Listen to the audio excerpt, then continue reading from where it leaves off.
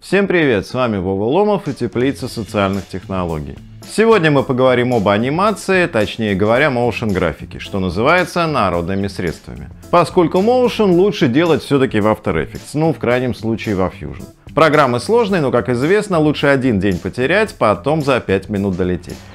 Но для тех, кто боится сложных программ, а страсть, как хочется или нужно сделать динамичную презентацию, чтобы все ахнули, я покажу инструмент под названием Sparkle Video Scribe.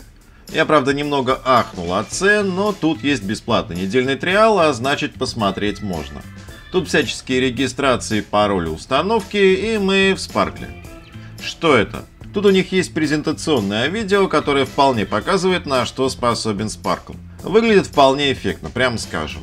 На watermark не обращайте внимания, это реальная версия, если купить программу, он уберется. Итак, выглядит эффектно. Если вы сделаете презентацию в таком виде, многие обзавидуются. Делается это не очень сложно, но это же и плохо. На первой презентации обзавидуются, на второй скажут «где-то я это уже видел», на десятой скажут «как надоели эти мелькающие руки от презентации к презентации, одно и то же».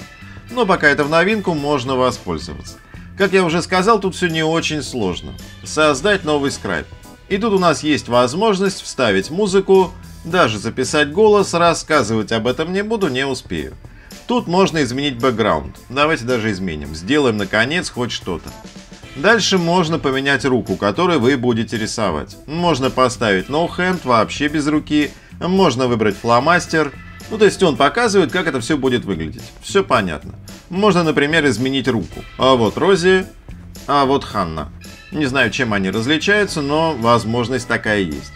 Таким образом, мы задаем рисование по умолчанию. В каждой отдельной сцене можно выставить свой способ, но об этом позже. И здесь кнопка для рендера, то есть выгнать готовое изображение. Тут три основные кнопки, с их помощью можно вставить изображение, текст или графики. Давайте уже наконец что-нибудь вставим. Изображение. Тут достаточно богатая библиотека изображений, и это хорошо. А вот, например, люди, более того, мужчины, и они тут на все случаи жизни. Если недостаточно, можете загрузить собственное изображение, он поддерживает SVG. Но загрузка это тоже отдельная тема, и тоже не буду на ней останавливаться. Ну и давайте вставим что-нибудь, что я уже вставлял. Вставили. И посмотрим, как это все будет выглядеть. Точнее, не все, а пока только один слайд. А вот так это будет выглядеть. Руку мы, правда, выбрали дурную, она рисует ластиком, но уж ладно. Итак, по каждому изображению есть настройки. Кликните, они появятся. А, во-первых, можно центрироваться на изображении, если вы куда-то уехали по листу. Потом можно заблокировать изображение, наоборот, скрыть или даже удалить.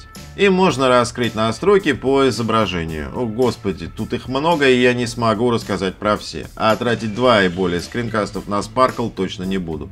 Так что очень коротко. Тут вы можете задать, как будет рисоваться именно эта картинка, независимо от того, что у вас стоит по умолчанию. Тут настройки анимации. Тут скорость, с которой будет рисоваться, пауза, то есть сколько картинка будет держаться, и тут скорость перехода к следующей картинке. Чтобы это понять, давайте нарисуем следующую картинку. Сейчас я тут быстро все пано выставляю.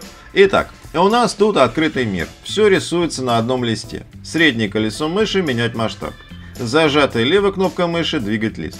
Подвинули и добавим текст. Здесь мы выберем гарнитуру. Тут тоже есть свои особенности, но об этом позже. Мы его можем куда-нибудь деть и также настроить скорость анимации. А вот так. По окончании он зумирует все изображение, чтобы все влезло в кадр, но это можно отключить. Сейчас у нас сначала рисуется домик, потом пишется текст. Это я убыстрил, в реале все медленнее. Если поменять слайды местами, то будет наоборот. То есть внизу аналог таймлинии, все происходит в соответствии с положением кадров на таймлинии. Сейчас мы добавим еще один объект. Объекты, соответственно, можно не только двигать, но и изменять в масштабе и даже крутить. Тоже пройдемся по настройкам анимации и изменим, например, способ появления последнего объекта. Сейчас он draw, то есть рисуется, а мы поставим move in, то есть вдвигается. И тут можно выбрать, откуда он будет вдвигаться. Вот сейчас из правого нижнего угла, а сейчас из левого верхнего. И также можно изменить траекторию, сделать ее более плавной, например. Как это все выглядит? А вот так. Давайте еще руку уберем, не нужна тут рука. Все. Сейчас я быстро расскажу про тексты можем выгонять. Прежде чем использовать шрифты, их нужно добавить из системы. Но по умолчанию он не добавляет кирилличные шрифты. И потом пишет, я не понимаю, что это за текст вы написали, если вы написали по-русски. При добавлении вот здесь нужно выбрать кириллик, и все будет отлично. Все, установили шрифты, будем выгонять. Вот эта кнопка. А, вот эта галочка, я говорил, он в конце зумирует, чтобы все влезло в кадр. Если вы хотите оставить последним кадром последний объект, просто уберите галочку. Ну и все. Здесь мы меняем, не меняем разрешение. Менять можно на платном тарифе. Вот изверги. И watermark и неделя trial а, да еще и разрешение не поменять. Ладно. А, и frame rate тоже не поменять. Ну, не знаю, это уже какое-то начало 2000-х. Ладно, выгоним как есть.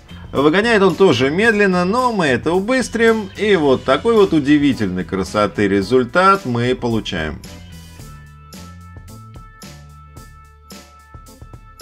Ну, не знаю. Я все-таки решился приступить к Fusion в DaVinci, буду потихоньку разбирать эту программу. Там все, конечно, сложнее, но, во-первых, это бесплатно, а во-вторых, вот это, ну, прямо совсем начальный уровень. Там можно делать все-таки по-настоящему крутые вещи. Так что подписывайтесь на канал, пишите комментарии, ну и любите друг друга.